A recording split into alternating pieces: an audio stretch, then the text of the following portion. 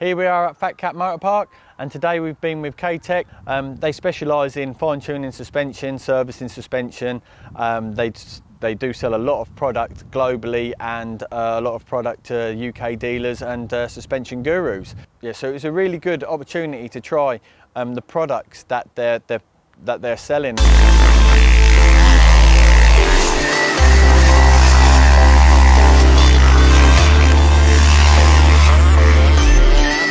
K-Tech's background originally was always off-road and then as years went on it went into being road racing really took off but now we're, we're able to focus on back on, on the off-road side of things and it's exciting times for us again. The main thing that we've been focusing on today is for the WP, the standard standard units because what a lot of people have had the, had to do or what they felt like they've had to do is go and buy aftermarket units for them so they've had to go and get cone valve tracks and it, for the normal man it's just too expensive, it's not cost effective. So what we've done is we've developed products to utilise the, the, standard hardware.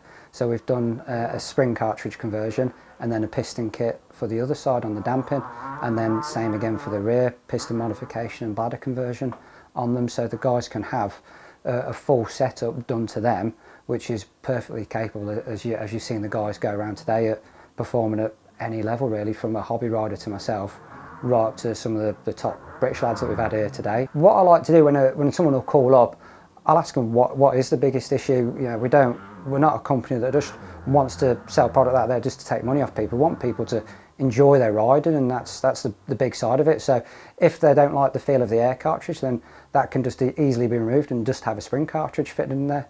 And then if you want to go another step and you want to you know, do more with the damping, we can remove the standard parts and fit our uh, ORVS kit in there as well. So that it's you can take the bike as far as you want to. Generally what you get a nicer feel from a spring fork because the because it airs the, the ramp up on it's so aggressive that when the guys are charging hard and you're coming deep into turns you just get that real ramp up of the air in there whereas a spring just gives a much linear feel right the way through the stroke. And also with ours because we're having preload adjustment you can do adjustments a lot easier on the fly for what tracks you're going to. And also just for pure ease for guys as well there's less seals to go wrong don't have to worry about taking a pump with you. What air pressures do I run? Whereas you guys know that's the spring rate I need and I'm, I'm, good to go. It's just a fit and forget job really. So yeah, the damping side, what we found with the standard stuff is that there's just no real adjustment range there and a little feel from it and with the setup that they've, they've done there with the standard stuff. So what we've incorporated into ours to give the guys more adjustment range and then also most importantly is on all those real hard horrible braking bumps and stutter bumps just to give a plusher feel over those and that's the biggest comment we've had today from guys is the feel from the front has been so plush. The physical system itself still remains the same but what we've done is we've changed all the pistons, the piston holders, needles so we've really looked at flows, controlling that flow and then the adjustment range at certain flows as well. So it's just a case of getting all of it working together better really. So when the guys don't have to run their adjusters all the way in, to get the damping. Now it's just a case of a couple of clicks and you're where you want to be with it. So the rear of the bike, the, the biggest thing that, or the thing that people will notice the most is the bladder conversion on it. So the standard one is a, a separation piston reservoir. So you'll have a piston that moves up and down in a cylinder. So small movements, you're going to get friction from that. So our bladder conversion, as the name suggests, has a bladder in there. So on those small movements, you're just compressing a bladder. So there's basically zero friction from it at all. So just smooths the bike out, you know, and you know, makes it a much, much nicer ride again on all these horrible acceleration bumps where you don't get that judder from the rear of the bike, it just smooths all of those out. And then the more internal modifications where we've put a, a different piston in there. So again, we've removed the standard WP piston and fitted our own one in there. Again, it just gives a different feel, the way that the flow of the oil works and just gives a, again, a much nicer ride for the guys.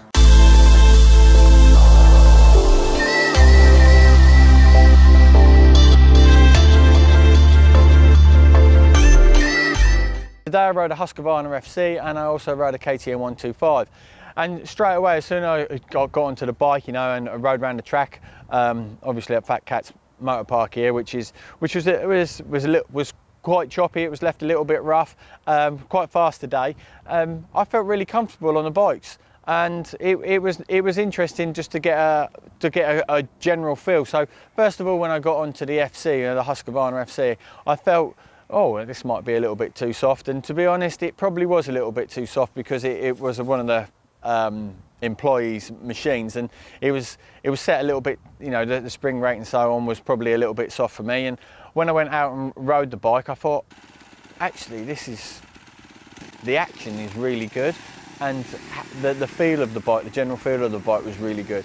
It was quite surprising as well for me because when I was riding around, I thought, um, with the way that the, the, the, track was developing, I thought, oh, I don't really want to overjump anything. I was, you know, because the because of the hole, I didn't really want to be landing in the hole, and that's only just because um, I'm a little bit nervous still from from my wrist, uh, where I broke my wrist like last year and had some major surgery on it. I didn't really want it, it getting a, um, a savage impact, and um, a couple of times I did actually overcook a couple of the landings and land in that hole and and the reason why I bring this up is, is because my first impression was, was that suspension would have collapsed or been too soft. And actually, it really surprised how it dealt with that. And, and it, I didn't get the shock that come through my wrist and my, my body or my back. And it just, it just absorbed, it absorbed the impact um, and, and, and moved on. And for me, that was, you know, it was kind of an eye opener because um, just because of, you know, the, the soft feeling that the, the, that the bike had and, and how I could ride over the little braking bumps and and, and not feel the bumps. Uh, for me, I you know I sometimes I do like to feel the bumps from time to time. Um, just just because it, it gives you that it, you know it gives you that warning, gives you that inkling of when to you know when to tip the bike in and uh, and when to crack open the throttle and and yeah it was just a it was just surprising because it was different because it was a smooth ride.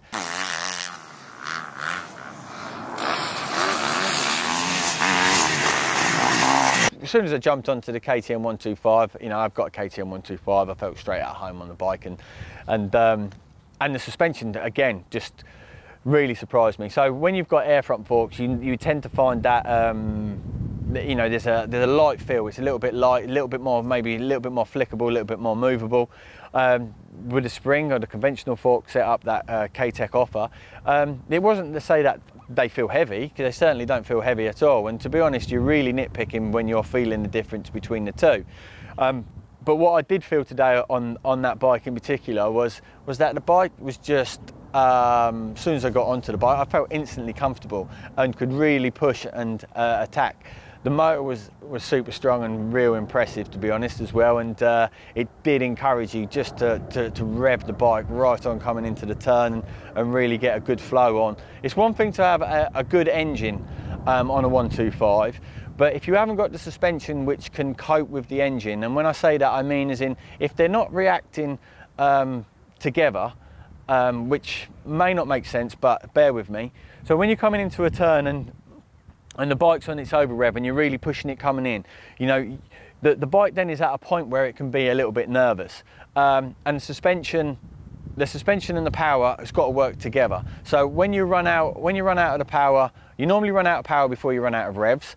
Um, and then when you come in, it make, can make the bike a little bit nervous. But I didn't get that feeling at all when I was riding the 125. So one, the, the engine, that tells me that it was absolute powerhouse and was just, yeah, just could could deliver on all fronts, and and secondly was was that the um, the suspension, you know, just allowed you just to really track into the turn um, and really commit and uh, push onto the bumps. And you know, and it's the same thing as like you, when you want to stay on the pegs. It allowed me to do that. If I wanted to sweep round through the long sweepers on the pegs, it allowed me to do that. It, at no point did I feel nervous or, or unsettled. So that was probably like one of the most impressive things from today. So, so the bikes that I rode today, you know, how they were modi modified. So basically the, the, the, forks, you know, the KTM and Husqvarna, you know, they come with air forks.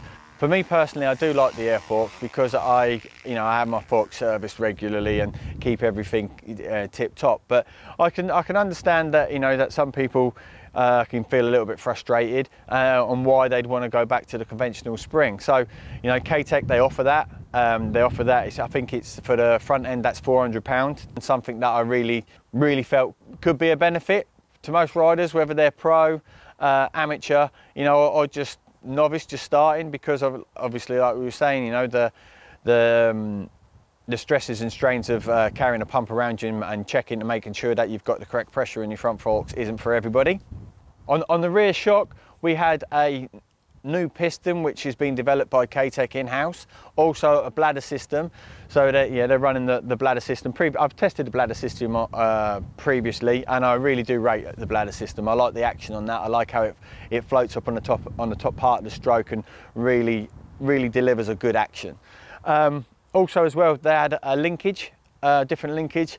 So the, the link the linkage is I think the linkage is roughly about 400 pound or just under.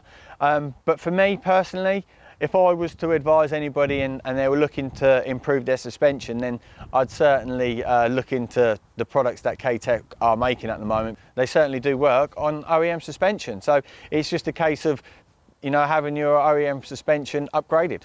So, so if you're looking for the full spec, you know, and you want the bike all singing or dancing, then you're looking about a, thousand pound roughly, um, and that's that's including labour. So I think personally myself, um, if you're looking for a suspension upgrade, that's a cheap suspension upgrade, um, and I rate it and highly recommend it. Uh, after riding the track today, um, you know, first impression was brilliant. The bike was balanced. And the action was good. So, you know, there's not a lot more that you can ask from for, for a suspension. You, you need to feel comfortable and confident on the bike, and, and that's what happened. So, for me, thumbs up.